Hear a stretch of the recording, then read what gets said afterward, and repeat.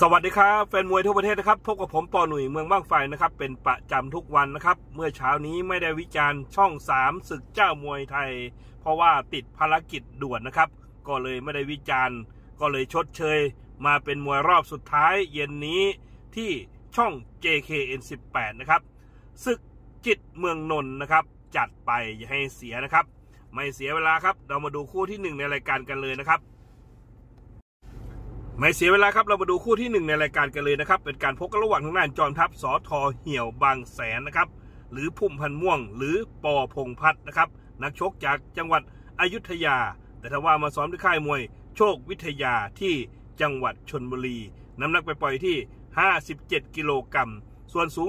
175 เซนติเมตร วันนี้เจอกับทางด้าน ฉลามขาวจิตเมืองนนท์หรือสิทธิ์ป้าโอ หรือสอแสงทองนะครับ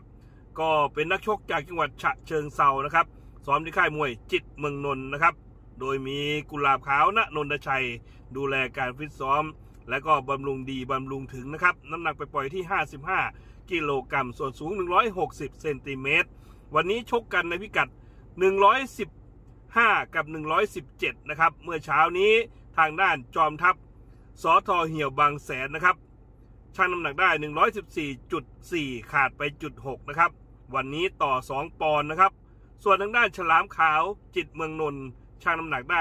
117 ปอนด์เท่าพิกัดพอดีนะครับ วันนี้ได้ 2 ปอนด์ครับ นี่คือการชั่งน้ำหนักเมื่อเช้านี้ของทั้งคู่ ที่เวทีมวยสยามอ้อมน้อยนะครับ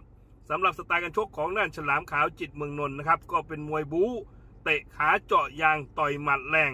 ปล้ำตีแข็งแกร่งแข็งแรง บู๊ดุดันครับนี่คือสไตล์การชกของด้านฉลามขาวจิตรเมืองนนท์นะครับ ส่วนฟอร์มหลังล่าสุดของเขานะครับ ก็ไปชนะคะแนน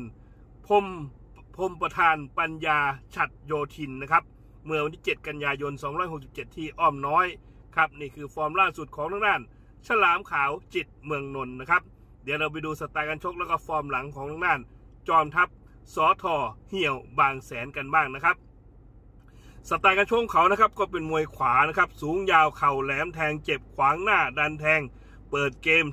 แล้วก็บูดูดันครับเป็นมวยที่ขยันออกอาวุธขยันออกอาวุธครับนี่คือสไตล์การชกของด้านจอมทัพสอทอเหี่ยวบางแสนนะครับ ส่วนฟอร์มหลังล่าสุดนะครับ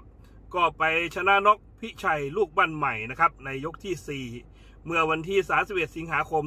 267 ที่อ้อมน้อยครับนี่คือฟอร์มล่าสุดของเขานะครับสำหรับมวยคู่นี้นะครับ ผมชอบไปที่ทางด้านมวยตัวใหญ่นะครับ ต่อน้ำหนักแต่ไม่ได้ต่อตัวนะครับ คู่ที่หนึ่งในวันนี้ผมออกไปที่ทางด้าน จอมทัพสอทอเหี่ยวบางแสน ให้ไป 5 ดาว จัดไปอย่าให้เสียนะครับ ไปดูคู่ที่ 2 กันต่อครับ มาถึงคู่ที่ 2 ในรายการนะครับ เป็นการพบกันระหว่างทางด้าน 9 ล้านสิทธิ์กำนันหนึ่งนะครับนักชกจากจังหวัดนครสวรรค์นะครับแต่ถ้าว่ามาซ้อมที่ค่ายมวยสิทธิ์กำนันหนึ่งที่จังหวัดชัยนาทนะครับโดยมีกำนันหนึ่งชัยนาทดูแลการฟิตซ้อมและบำรุงเป็นอย่างดี น้ำหนักไปปล่อยที่ 63 กิโลกรัม ส่วนสูง 178 เซนติเมตร วันนี้เจอกับทางด้าน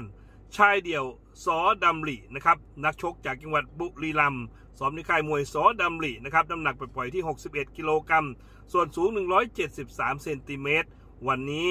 ชกกันในพิกัด 128 กับ 129 นะครับ ทางด้าน 9 ร้าน สิทธิ์กำนันเหน่งต่อให้ 1 ปอนด์นะครับ เมื่อเช้านี้ทางด้าน9ล้านสิทธิ์กำนันเหน่งช่างน้ำหนักได้ 128.6 ลดไปจุด6นะครับ ส่วนทางด้านชายเดี่ยวซ้ายเดี่ยวนะครับ โทษทีซอดำรินะครับช่างน้ำหนักได้ 128.4 ขาดไปจุด6นะครับ นี่คือการช่างน้ำหนักเมื่อเช้านี้ของทั้งคู่นะครับที่เวทีมวยสยามอ้อมน้อยนะครับสำหรับสไตล์การชกของด้านซ้ายเดี่ยวนะครับ ก็เป็นมวยฝีมือครบเครื่อง เปิดเกมเตะหนักต่อยแรง บุดุดันครับเป็นมวยที่ขยันออกอาวุธนะครับ นี่คือสไตล์การชกของด้านซ้ายเดี่ยวสอดำรินะครับ ส่วนฟอร์มหลังของเขานะครับ ก็ไปชนะนอกทางด้านเฮาไฟอกิจเจริญชัยนะครับ ในยกที่ 3 เมื่อวันที่ 24 สิงหาคม 267 ที่อ้อมน้อยครับนี่คือฟอร์มหลังล่าสุดของด้านซ้ายเดี่ยวสอดำรินะครับ เดี๋ยวเราไปดูสไตล์การชกแล้วก็ฟอร์มหลังของด้าน9ล้านสิทธิ์กำนันเหน่งกันบ้างนะครับ สไตล์การชกเขานะครับ เป็นมวยจังหวะฝีมือครบเครื่อง ไล่แขนเก่ง และก็เป็นมวยที่เหลี่ยมเชิงดี ยืนระยะมั่นคง วันนี้ได้ใหญ่ได้ลอยได้ยาวครับนี่คือสไตล์การชกของด้าน9ล้านสิทธิ์กำนันหนึ่งนะครับ ส่วนฟอร์มหลังล่าสุดนะครับ ไปเสมอกันกับทางด้าน เทพสุทินศักอินเตอร์ เมื่อวันที่สี่กันยายน267ที่เวทีมวยราชดำเนินนะครับสำหรับมวยคู่ที่ 2 ในวันนี้นะครับ ผมออกไปที่ทางด้าน 9 ล้านสิทธิ์กำนันหนึ่งนะครับ ต่อ 1 ปอนด์แต่ไม่ได้ต่อตัวนะครับ จัดไปอย่าให้เสียนะครับ ไปดูคู่ที่ 3 กันต่อครับ มาดูคู่ที่ 3 ซึ่งเป็นคู่รองน้องคู่เอกในวันนี้นะครับ เป็นการพบกันระหว่างน่านเพชรเกียงไก่จิตเมืองนนท์หรือแสนไก่โรงเรียนผู้วิทยานะครับ คู่แฝดแสนเก่งนะครับแฝดพี่นะครับ เป็นนักชกจากจังหวัดนครราชสีมาซ้อมที่ค่ายมวยจิตเมืองนนท์ น้ำหนักไปปล่อยที่ 55 กิโลกรัม ส่วนสูง 164 เซนติเมตรนะครับ วันนี้เจอกันทางด้านหนึ่งกทรณีกวยบางคอแหลม หรือวีรนัทพันยุทธภูมิ หรือชนแดน บคสนะครับ หลานของเสือแบ็กนะครับ เป็นนักชกจากจังหวัดเพชรบุรี ซ้อมที่ค่ายมวยอะคาเดมี่พระราม 4 นะครับ น้ำหนักไปปล่อยอยู่ที่ 54 กิโลกรัม ส่วนสูง 167 เซนติเมตร วันนี้ชกกันในพิกัด 112 ปอนด์นะครับ เมื่อเช้านี้ทางด้านเพชรเกียงไก่จิตเมืองนนท์ช่างน้ำหนักได้ 112 ปอนด์เท่าพิกัดพอดีนะครับ ส่วนทางด้านหนึ่งธรณีกล้วยบางคอแหลมนะครับช่างน้ำหนักได้ 113.6 ลดไป 1.6 นะครับ นี่คือการช่างน้ำหนักเมื่อเช้านี้ของทั้งคู่ที่เวทีมวยสยามอ้อมน้อยนะครับสำหรับสไตล์การชกของด้านหนึ่งธรณีกล้วยบางคอแหลมนะครับ ก็เป็นมวยจังหวะฝีมือครบเครื่อง ดักเตะ ดักต่อย ดักแทง และก็เป็นมวยที่อาวุธหลากหลายครับนี่คือสไตล์การชกของด้านหนึ่งธรณีกล้วยบางคอแหลมนะครับ ส่วนฟอร์มหลังล่าสุดของเขานะครับ ก็ไปชนะคะแนนเทียนงามนักบินอะไหล่ยนต์ เมื่อวันที่ 17 กันยายน 2567 นะครับ ที่จังหวัดอุบลราชธานีครับ นี่คือฟอร์มล่าสุดของทางด้านหนึ่งธรณีกล้วยบางคอแหลมนะครับ เดี๋ยวเราไปดูสไตล์การชกแล้วก็ฟอร์มหลังของทางด้าน เพชรเกียงไก่จิตเมืองนนท์กันบ้างนะครับสำหรับสไตล์การชกของด้านเพชรเกียงไก่จิตเมืองนนท์นะครับ ก็เป็นมวยขวานะครับ เป็นมวยฝีมือครบเครื่อง ฉลาดหลักเหลี่ยมดี และก็เป็นมวยที่แข็งแกร่งแข็งแรงยืนระยะมั่นคง ครับนี่คือสไตล์การชกของทางด้าน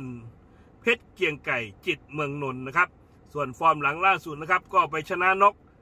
อารยันยาลามานะครับในยกที่ 1 เมื่อวันที่ 22 มิถุนายน 267 ที่ RWS ครับ นี่คือฟอร์มล่าสุดของทางด้าน เพชรเกียงไก่จิตเมืองนนท์นะครับสำหรับมวยคู่ที่ 3 ในวันนี้นะครับ ผมชอบมวยเจ้าบ้านนะครับ ผมออกไปที่ทางด้าน เพชรเกียงไก่จิตเมืองนนท์นะครับ ให้ไป 5 ดาวจัดไปอย่าให้เสียนะครับ ไปดูคู่ที่ 4 ซึ่งเป็นคู่เอกกันต่อครับ มาดูคู่ที่ 4 ในรายการกันเลยนะครับ เป็นการพบกันระหว่างทางด้านแสนสิริมรัตนบัณฑิต หรือพีเคแสนชัย มวยไทยยิม หรือเพชรสิริปอสิริพงศ์นะครับ นักชกจากพระนครศรีอยุธยาซ้อมที่ค่ายมวยยิมพาราม 3 นะครับ น้ำหนักไปปล่อยที่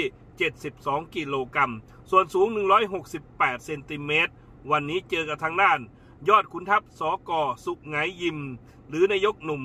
สารยาหรือจิตสารยานะครับ เป็นนักชกจากจังหวัดนครปฐมซ้อมในค่ายมวยสกสุกไงยิมนะครับ วันนี้ชกกันในพิกัด 148 ปอนด์เมื่อเช้านี้ทางด้านแสนสิริมรัตนบัณฑิตชั่งน้ำหนักได้ 148.4 ลดไปจุด4นะครับ ส่วนทางด้านยอดขุนทัพสกสุงไหงยิมชั่งน้ำหนักได้ 148 เท่าพิกัดพอดี ครับนี่คือการชั่งน้ำหนักเมื่อเช้านี้ของทั้งคู่ ที่เวทีมวยสยามอ้อมน้อยนะครับ สำหรับสไตล์การชกของด้านยอดขุนทัพสกสุงไหยิมนะครับ ก็เป็นมวยสูงยาวเข่าดี แข้งซ้ายโต้แรง ต่อยหมัดแรงขวางหน้าดันแทง บู๊ดุดันครับ นี่คือสไตล์การชกของด้าน ยอดขุนทัพสกสุกไงยิมนะครับ ส่วนฟอร์มหลังล่าสุดนะครับ ก็ไปแพ้คะแนนรูดี้ดาซิลวา เมื่อวันที่ 14 กันยายน 2567 ที่ RWS ครับ นี่คือฟอร์มล่าสุดของทางด้าน ยอดขุนทัพสกสุกไงยิมนะครับ เดี๋ยวเราไปดูสไตล์การชกแล้วก็ฟอร์มหลังของทางด้าน แสนสิริมรัตนบัณฑิตกันบ้างนะครับสำหรับสไตล์การชกของเขานะครับ เป็นมวยขวาเปิดเกม เตะซ้ายต่อยซ้ายโต้แรงกล้าแลกกล้าสวนท่าทรหดดี อาวุธหนักทุกลูกทุกดอกลุ้นนับลุ้นน็อกได้ตลอดครับนี่คือสไตล์การชกของทางด้าน แสนสิริมรัตนบัณฑิตนะครับสำหรับมวยคู่ที่ 4 ในวันนี้นะครับ ผมออกไปที่ทางด้าน แสนสิริมรัตนบัณฑิตนะครับ จัดไปอย่าให้เสียนะครับ